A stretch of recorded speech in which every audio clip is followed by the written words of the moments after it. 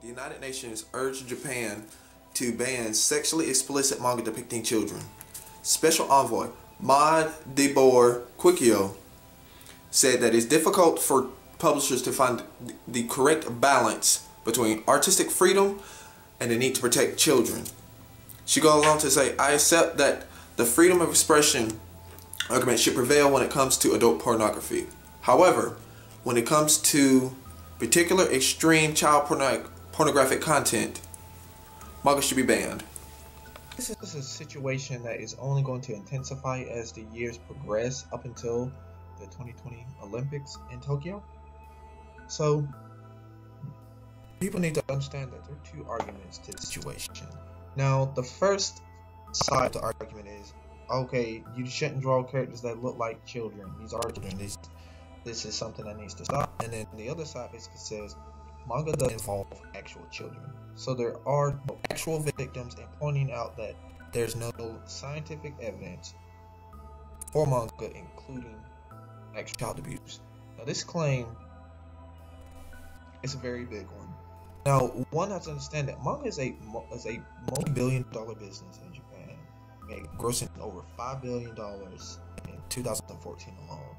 And in the same year, they finally banned they, they Japan finally banned distributing child pornography. Now, on this side of the argument, you have Ken Akamatsu, who is a big time author. He's the creator of Negima. And a few other series where sometimes you will see the girls not naked or their genitalia, they more look like Barbie dolls.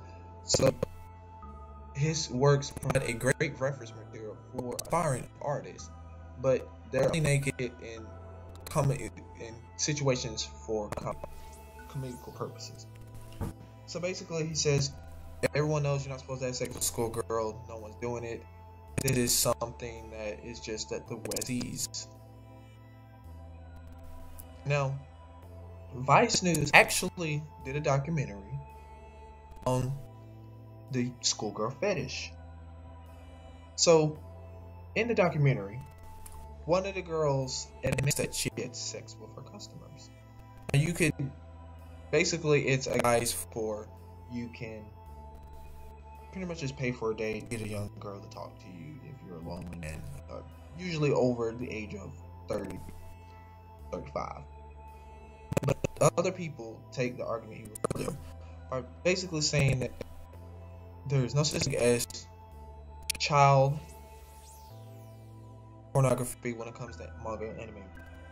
This is a very dangerous argument, and while it might seem solid to the outside person, but what you have to understand is, is when someone is an artist and they draw something, they think about it, they plan it out, they do a lot of trial and error. Now, on this image here, you see a grown man licking on the chest of a young girl. Now, you can say, well, we don't know how old she is. If you look at the title, it says that he basically paid a elementary school student 30 yen for sex.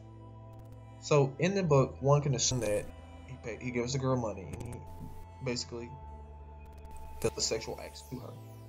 This is what they want to ban but if they don't use a scalpel and they use a chisel, shows like Monster Musume, the girls are actually kind of drawn young, but not so young, look like kids, where they are actually adults and says they're adults, and you can tell they're adults, will be scrutinized also.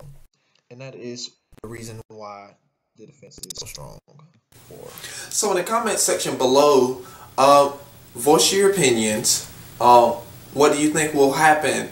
And check the description for various links provided for this video, for references for this video. And um, sketch erase, subscribe.